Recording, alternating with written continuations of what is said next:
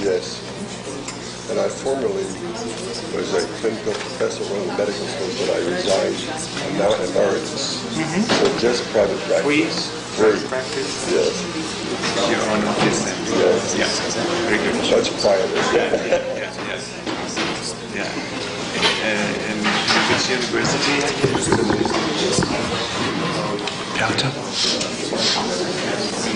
you? Mach mal einen Schwenk in der vorderen Reihe.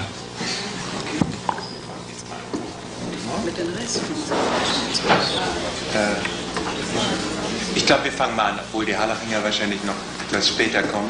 Äh, Frau ist so nett und stellt den Herrschwitz vor. Ähm, Dr. Morten Herskowitz kommt aus Philadelphia nach Deutschland, um einige Vorträge über Orguntherapie und auch Erinnerungen an Reich zu halten. Er war Schüler und später Mitarbeiter von Wilhelm Reich. Er ist selbst Orguntherapeut, Leiter einer äh, Forschungs- und Ausbildungsgruppe von Orguntherapeuten in Philadelphia. Das in, ist offen. in freier Praxis tätig, früher äh, auch tätig an einem psychiatrischen Krankenhaus, an einer psychiatrischen Uniklinik in Philadelphia. Er ist Mitglied des amerikanischen Colleges der Neuropsychiater und Autor eines Buches über menschliche Panzerung, Einführung in die Orguntherapie. Wir haben, just, just a second, wir, wir haben das Problem mit dem Englisch. Äh, ist jemand da, der überhaupt kein Englisch versteht? Wunderbar. Aber sehr wenig. Sie können sich, also dann würde ich Sie ermutigen, sozusagen, wenn Sie was Wichtiges nicht verstanden haben. Finden Sie schon mal einen nonverbalen Kanal aufgestellt und so? Also ich würde trotzdem mal, wenn es nicht geht, übersetzen. Aber Sie wissen, das ist natürlich immer nur den Diskussionsfluss sehr. Dr. Hirschkowitz hat gesagt, er würde es versuchen, schön deutlich und langsam zu sprechen. Wollen wir es mal so probieren? Äh, oder wollen wir, wollen wir es nicht? Wollen Sie es nicht? Dann, äh, we, we try to do it in English, but if it's too difficult, you should look, you should look her. this lady. If she, if she looks very desperate, Right. Right. okay? Okay. Okay. Können wir noch äh, vielleicht erfahren, wer wie viele Gäste sind, abgesehen von unserem Referenten? Ja. Ja, das ist richtig. Ja, also Nein, ich ja.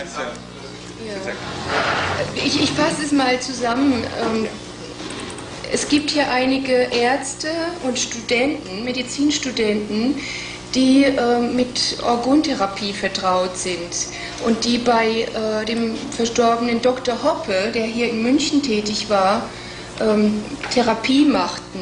Es sind auch Verwandte von ihm hier und ähm, Welchen, ja. welchen Doktor? Also? Dr. Walter Hoppe. Walter. Ja. Der auch ein Buch geschrieben hat über Wilhelm Reich Ja. und andere bekannte Wissenschaftler.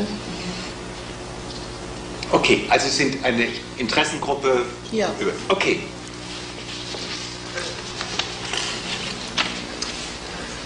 Man is born free, and everywhere he is in chains. How did this change come about? I do not know. These are the opening lines of Jean Jacques Rousseau's Social Contract. In the course of this lecture, I hope you will find at least a partial answer to this question. The key is the process of armoring. It followed Reich's emphasis on character analysis, and he came to recognize that character is represented in the body as well as in behavior.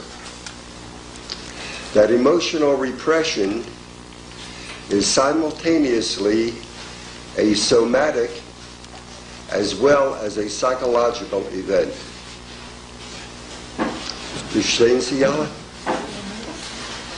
Okay.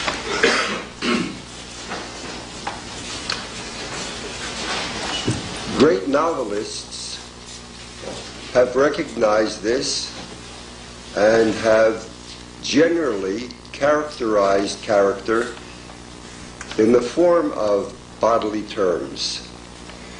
Uh, the individual who draws in his breath when the events are overwhelming. The angry man who walks around with a tight jaw. The stubborn person who has a stiff neck. These are all recognized by all of us. And all of us respond to these in our reactions to other individuals.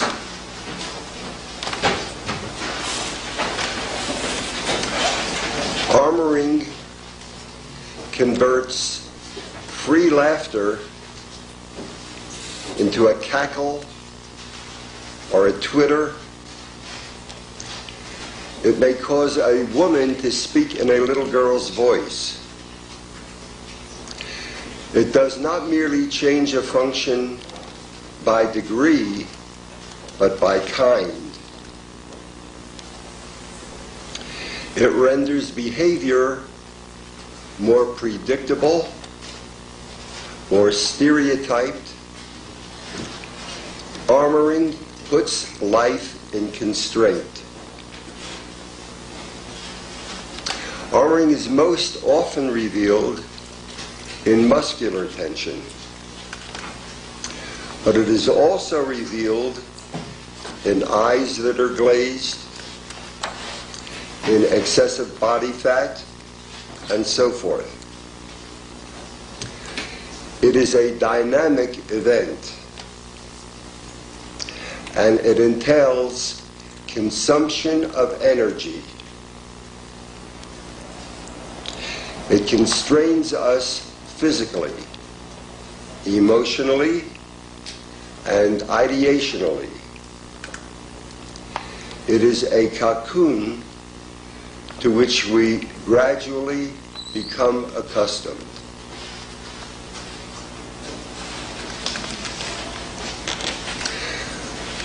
Reich viewed all living systems as pulsatile. In the mammal, there are many individual pulsations encompassed within the overall pulse of charge with energy and discharge of energy. There is the heart's pulse, the lungs pulse, the gastrointestinal pulse, the brain's pulse, and so forth. Armoring narrows the pulsation from aliveness to all aspects of his existence to, in the worst case, living at a level of mere existence. The heavily armored individual fears expansion and pleasure gives him anxiety.